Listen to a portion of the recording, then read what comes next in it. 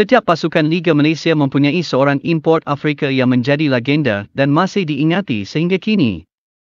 Perak ada kereta Manju Negeri Sembilan dengan Eva Owana, Selangor dengan Ifedayo dan Kelantan dengan Prince Tago. Faktor menarik yang ramai tak perasan ialah Johor jarang mengambil pemain import Afrika.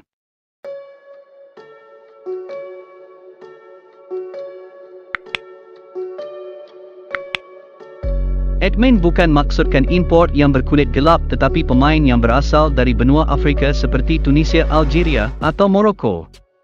Kelebihan utama pemain Afrika ialah memiliki fizikal yang tegap keras seperti besi dan ada stamina tinggi malah dikatakan mempunyai dua jantung. Perancis ada 70% pemain ada latar belakang negara Afrika seperti Mbappe dan Umtiti dari Kamerun. Faktor utama kenapa JDT jarang ambil pemain import dari Afrika ialah Johor mempunyai pertalian kuat dengan gaya bermain bola sepak Amerika Selatan. Kebanyakan import yang dibawa masuk berasal dari Brazil dan Argentina tidak kira posisi penyerang bahagian tengah dan pertahanan. Faktor kedua pula ialah ia merupakan pilihan ketua jurulatih yang dilantik. Semasa di bawah Cesar Ferrando dua pemain Spanyol Daniel Guiza dan Braulio dibawa masuk ke JDT. Semasa zaman Mario Gomez, Martin Nusro dan Jorge Pereira, Diaz paling banyak digunakan malah hasilkan lebih 40 gol. Faktor ketiga ialah pemain Afrika sering dikaitkan dengan masalah disiplin dan tidak profesional.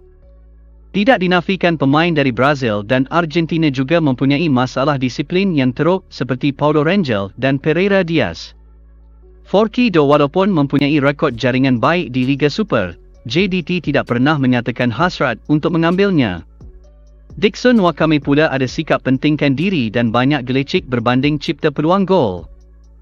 Harry Novillo juga hanya bermain seketika di JDT sebelum dikeluarkan kerana tidak disukai oleh TMJ. Import Afrika adalah ketiga terbanyak di Liga Malaysia selepas import Amerika Selatan dan Eropah. Mereka juga catat rekod penjaring terbanyak liga seperti Marlon Alex James yang jaringkan 60 gol. Import Afrika pertama bermain di era baru JDT ialah Al-Haji Kamara. Kamara hanya bermain setengah musim di Johor Darul Takzim secara pinjaman, menjaringkan satu gol dan mencipta satu assist ketika menentang Kelantan. Dia pada awalnya disyaki mempunyai penyakit komplikasi hati ketika bermain di JDT. Tetapi kini musim 2022 Kamara telah pulih dan masih bermain di kelab Denmark Randers dan pasukan kebangsaan Sierra Leone. Sumarih juga berdarah Gambia tetapi sudah lama tinggal di Malaysia dan JDT dapatkan dia sebagai pemain tempatan.